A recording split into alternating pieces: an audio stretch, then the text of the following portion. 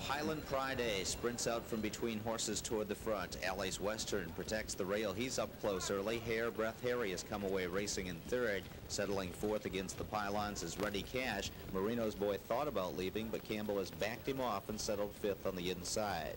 Indian Territory, an unhurried sixth. At the back of the pack is Let's Get It On, who trails the field. They've quickly settled into straight alignment, and Highland Pride A is two lengths in front here, opening quarter up in 27 and 1 four. It's Hair Breath Harry at the top of the stretch. Marino's boy trying to get to him with a sustained rally on the outside. He's a length away with an eighth of a mile to come. Hair Breath Harry digging in under hard right-handed pressure. Marino's boy right at his throat on the outside. Indian Territory coming on the outside. Marino's boy makes the lead. Indian Territory charging up. Marino's boy has won it.